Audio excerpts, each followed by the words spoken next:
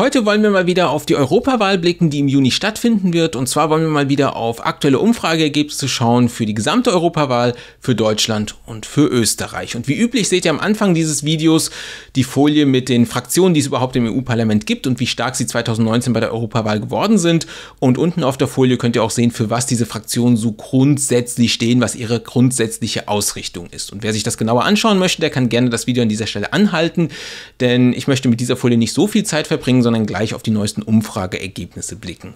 Der Stand der Dinge für dieses Video ist der gestrige Mittwoch, also der 24. Januar und der Zeitraum von Interesse für dieses Video ist der vom 26. Dezember bis zum 24. Januar. Und da könnt ihr sehen, dass vier Umfrageergebnisse für dieses Video von Bedeutung sind. Und wenn wir uns diese vier Umfrageergebnisse einmal genau anschauen, dann können wir sehen, dass die EPP, die große christdemokratische Fraktion, sehr wahrscheinlich stärkste Kraft bleiben wird. Im Schnitt sind es 175 Sitze, das sind allerdings zwölf weniger, als man 2019 geholt hat. Das heißt, die EPP-Fraktion muss mit Verlusten rechnen. Und das, obwohl die Sitzzahl im EU-Parlament um 15 angehoben wird. Also insgesamt ja, steuert die EPP auf ein nicht ganz so gutes Abschneiden wie 2019 zu eben. Aber es reicht, um Rang 1 verteidigen zu können.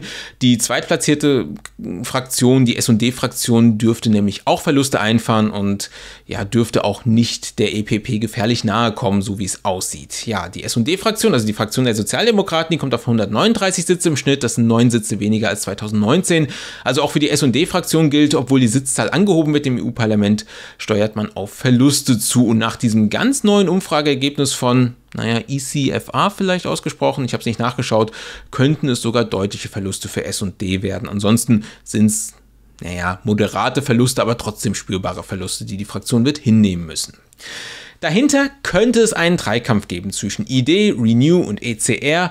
Momentan ist es tatsächlich so, dass der Kampf um Rang 3 ja in gewisser Weise bei diesen Ergebnissen vorentschieden wäre zugunsten von ID, also einer nationalkonservativen, rechtspopulistischen, EU-skeptischen Fraktion. Die ID-Fraktion kommt im Schnitt auf 94 Sitze, das sind 18 mehr, als man 2019 geholt hat und womöglich kann man sogar eine dreistellige Sitzzahl im EU-Parlament holen. Also unter Umständen ist das auch möglich. Also Idee könnte neue drittstärkste Kraft werden. Was Rang 4 betrifft, könnte es für Renew auch nicht reichen. Für die Liberalen ist es zumindest eng mit ECR. Insgesamt ist es so, dass im Schnitt Renew noch drei Sitze mehr hat als ECR, aber wir müssen mal abwarten, wie sich dieses Rennen um Rang 4 oder auch um Rang 3 entwickeln wird. Wir können mal festhalten, Idee unter klaren Zugewinnen wohl drittstärkste Kraft, zumindest aktuell, Renew unter klaren Verlusten noch viertstärkste Kraft und ECR unter klaren Zugewinnen knapp dahinter auf Rang 5. Dann haben wir eine Reihe von Abgeordneten, die zu den Fraktionslosen gehört. 58 sind das jetzt im Schnitt. Das ist ein deutliches Plus im Vergleich zu 2019. Also die Zahl der fraktionslosen Abgeordneten dürfte doch klar ansteigen. Und dann haben wir als nächstes die Grünen, die kommen auf 50 Sitze im Schnitt. Und das ist ein deutliches Minus im Vergleich zu 2019. Also die Beliebtheit grüner Parteien innerhalb der Europäischen Union nimmt dann doch tendenziell klar ab, zumindest im Vergleich zu 2019. Im Schnitt sind es 50 Sitze und damit 18 weniger, als man letztes Mal hatte. Und das ist das größte Minus Minus von allen Fraktionen. Das werden wir gleich nochmal auf der Grafik oder auf der entsprechenden Grafik sehen. Und die Fraktion der Linken, ja, die bleibt wohl relativ konstant. Je nach Umfrageergebnis liegt sie mal ein bisschen drunter unterhalb des Ergebnisses von 2019, mal liegt sie auch ein bisschen drüber. Also mehr oder weniger ändert sich da scheinbar nicht so viel. Und das können wir ja auch hier sehen. Im Schnitt ist das nur ein Sitz weniger eben, als man 2019 geholt hat. Ansonsten sehen wir bei den Gewinnern, wie gesagt, die Fraktionslosen plus 31, die beiden EU-skeptischen, konservativen Fraktionen ECR und ID haben plus 19 und plus 18 Sitze stehen. Und ja, die anderen Fraktionen liegen im negativen Bereich. SD minus 9, EPP minus 12, Renew minus 13 und die Grünen haben das größte Minus mit minus 18 dastehen. Im Vergleich zum letzten Video, da haben wir auf den Stand der Dinge vom 25. Dezember geschaut, ist es so, dass sich seitdem bei manchen Fraktionen mehr getan hat, bei anderen weniger. Also ID hat fünf dazu gewonnen, ECR dafür fünf verloren. Die sonstigen haben ein bisschen dazu gewonnen, die EPP ist konstant geblieben. Also ihr seht ja, was für Veränderungen es gab seit dem letzten Video. Da gehe ich jetzt mal nicht genauer drauf ein. So, jetzt geht es weiter mit Deutschland. Wer mein Video mit diesen exklusiven Werten der Wahlkreisprognose gesehen hat, der kennt das Ergebnis der Wahlkreisprognose schon.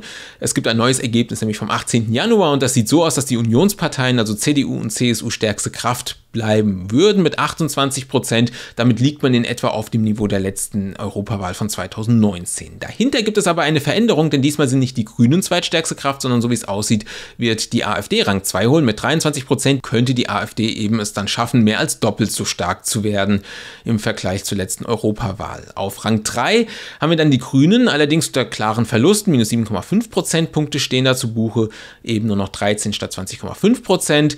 Dann haben wir die SPD mit 9% im einstelligen Bereich, auch unter ganz klaren und auch man kann schon sagen, krassen Verlusten, minus 6,8 Prozentpunkte. Das Bündnis Sarah Wagenknecht würde aus dem Stand 7 Prozent holen und damit auch einige Abgeordnete ins EU-Parlament entsenden können.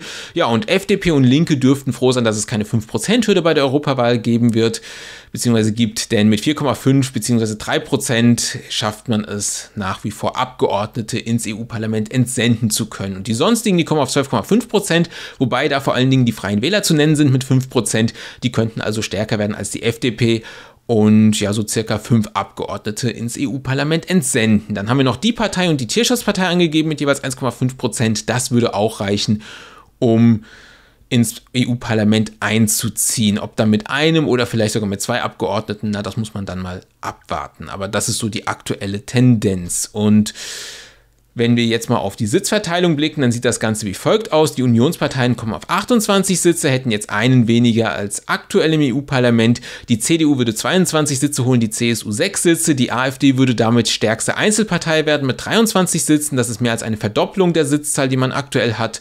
Dann haben wir die Grünen bei minus 8 Sitzen, die kommen dann nur noch auf 13 Sitze. Die SPD holt 9 Sitze, das Bündnis Sarah Wagenknecht 7, die FDP 4, die Linke 3 und die sonstigen insgesamt 9. Ich habe jetzt nicht genau geschaut, wie die sonstigen sich verteilen, aber ich schätze mal 5 auf die Freien Wähler, 2 jeweils auf die Tierschutzpartei und die Partei.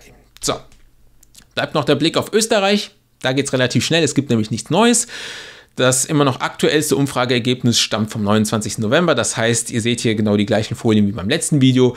Die FPÖ liegt da auf Rang 1, würde deutlich zulegen. SPÖ und ÖVP streiten sich um Rang 2. Die Grünen wären immer noch zweistellig, allerdings mit leichten Verlusten versehen. NEOS würde mit 7% auch wieder in das EU-Parlament einziehen und die sonstigen haben aktuell keine Chance, Abgeordnete ins EU-Parlament zu entsenden.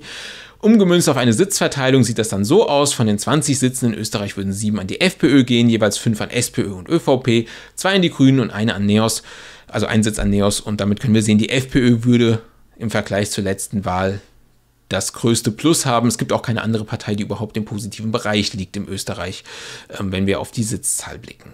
So, das war jetzt wieder der Überblick zur Europawahl und damit setze ich jetzt abschließend am Ende von diesem Video wie üblich einen Punkt.